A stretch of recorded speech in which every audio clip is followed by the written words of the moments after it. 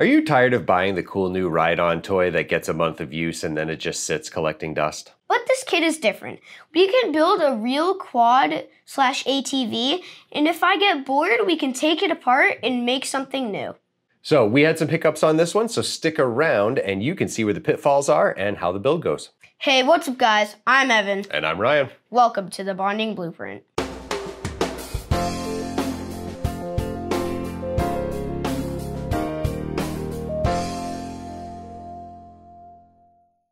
So, before we get started, if you're new here or haven't seen our other Infento videos, Infento is a modular building system where you use real aluminum parts, wheels, axles, and even motors to build ride-on vehicles your kids can actually drive. We picked it because I was always outgrowing ride-on toys fast, but with Infento, you can just rebuild it into something new. Exactly. Instead of buying new plastic ride-ons every year, this kit can actually grow with your kids. The parts are solid, the builds feel like a real project and not just some cheap toy. We've built the Hero motorcycle already. If you missed that video, you can check it out on our channel. My dad will link it down below. The Infento electric system has three speed modes controlled by a key. There's a reverse button and a thumb throttle. This is the Hero motorcycle that we had currently built, and we're going to quickly disassemble this so we have enough parts to make the quad, because you can't make the Hero bike and the quad all in one kit. Um, and unfortunately, uh, through some use, um, when we wired up the Hero kit, um, I'll lift it up a little bit. When we wired up the Hero kit, in order to use the Hero bike or any of the Infento kit bikes, um, when you first turn on the battery, in order to engage the drive, you have to pull the brake lever to engage the engine.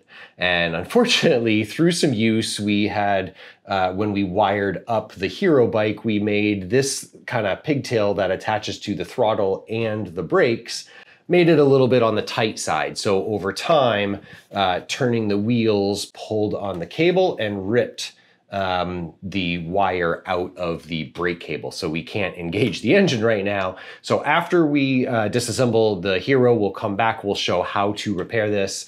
Um, I'm not actually sure how to do it yet, but we'll open it up, we'll figure it out, um, and then uh, fix that wire, and then we'll use all these parts to build the quad, and we will um, see where we end up with the build.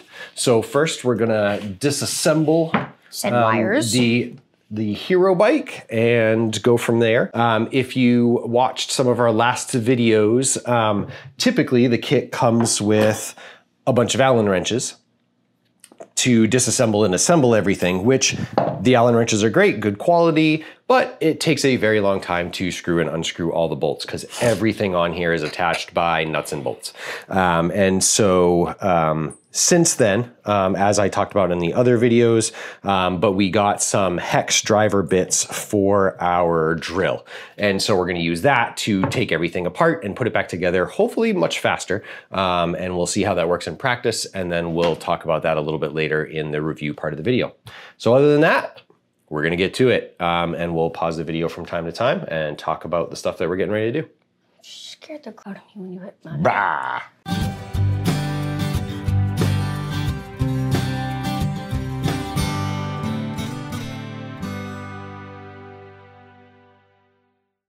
So we disassembled the Hero bike in roughly 30 minutes. So it took about 30 minutes to tear that thing down with the drill. Drill's a huge help. We both love it. Both endorse it. Buy it, do it. Don't build Infento without. We'll put a link in the comments. yeah, yeah, exactly. I'll put some more links. These, the, all this stuff was in the original videos, but I'll put some more um, at the bottom of this video. Now we're gonna go ahead and quickly sort through all the nuts and bolts to get them back into our organizer tray so it's easier to source the bolts when we're looking for them while we're building. So Evan's gonna divide these up and we'll work together on this and then we will be back.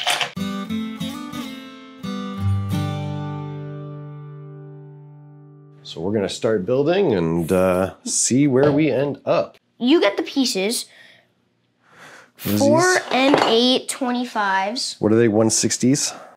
Okay, so the rest of this build is very, very similar to the Hero motorcycle build. A lot of the same steps, a lot of the same techniques, a lot of the same tips that I showed off last time in that video. In this video, I'm going to um, bring back some of the tips that we talked about in the first video, um, just some of the big important ones, but definitely if you want to see more of an in-depth build talking about each step, um, hop back over to the Hero build um, after you're done watching this one and uh, give that a watch as well.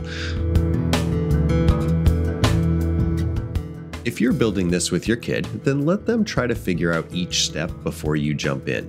It makes the build process more fun and gives them real problem solving practice.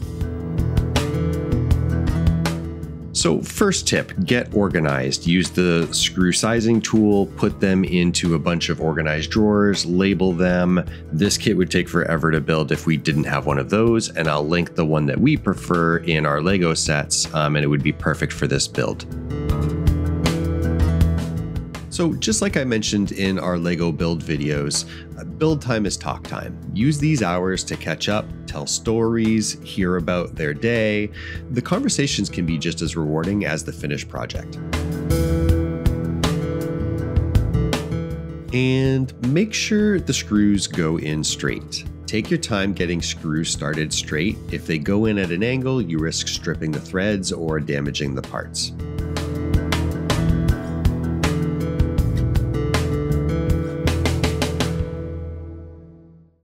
Okay, all right, slide over a little bit.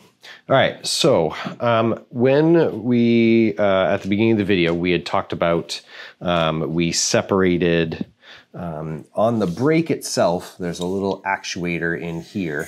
So when you pull the brake, it triggers the um, whatever this little actuator is to send a signal along this wire to the battery pack to say that it's okay to let it move forward. And of course, as you can see, these wires popped, pulled out of here. And so now what we're trying to do is take this apart to see if it's even possible to rewire this little thing. The long story short was we realized it can't be repaired. We were at a point where um, the wire was so far right up against, there's a little electronic component in here that I showed on camera. Um, the wire was like right up against it. So there was no way for us to splice the wire together and repair it. And I couldn't figure out how to um, take apart the electronic box inside there to try to get in and maybe solder it directly onto the board or whatever it was, a switch. So we had to order a new uh, brake cable, and that's why we took a break for a week.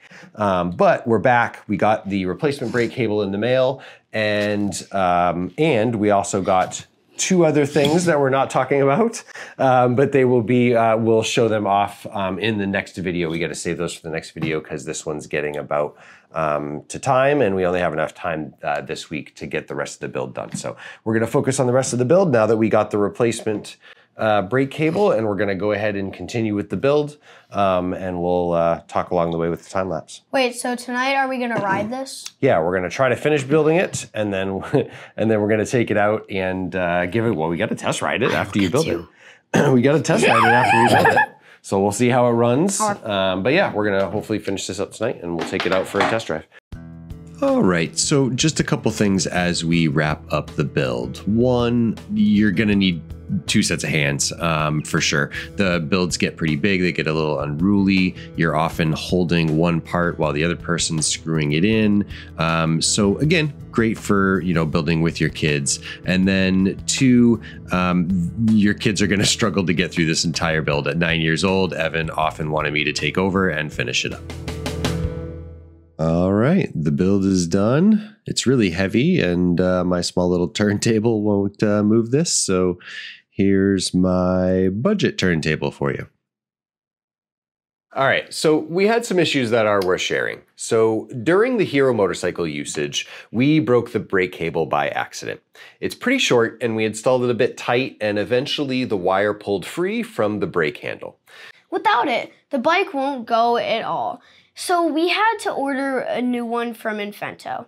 So shipping came from the Netherlands um, and it was being shipped to the US. Took about five days, which I felt was fairly quick, um, but the shipping was incredibly pricey. Um, if I had just added a few more items, it would have qualified for free shipping. Since we had to order anyway to get the replacement brake handle, I also picked up the headlight and the brake light kit along with the LED light bar kit, um, and it's going to be dark here soon, um, winter in New England, so we figured we'd um, get some lighting to help with visibility for when Evan wants to ride late at night.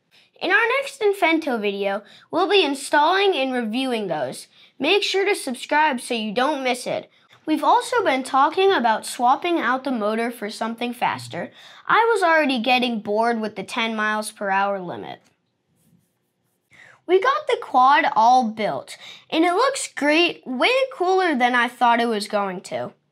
The kit feels durable, quality's wonderful, but when we took it for a quick test ride, the hub motor isn't working properly now. The Hero motorcycle was running fine up until the brake cable issue. It makes a strange noise and just won't move when there's any weight on it. Like it would make like that type of noise. Yeah, makes a big bumpy noise. Yeah. So this was pretty much my first experience with Infento support. It took about two days to get a response saying they're looking into it, and unfortunately it's been about five days as of this recording with no response so far, which is a little discouraging. Um, we'll follow up in our next Infento video, and when we cover the light and brake kit installs, we'll also update you on what happened with the motor um, and roughly how long it took to get it resolved and all of that good stuff. Poor motor. Poor motor. He was a good boy. It was a good motor. Mm. Just excessive again. You always take it oh, too, too far. far. Too far. I do. Do. It's crazy. So it's unlikely we lost a nut or two along the way, but it seems like the ultimate kit only includes the exact amount of nuts and bolts that you need to build the largest model. And there aren't any extras, which is very annoying. Somewhere along the build, we must have used lock nuts instead of regular nuts, and we had to run to the hardware store to buy more because we were way too short. Yep.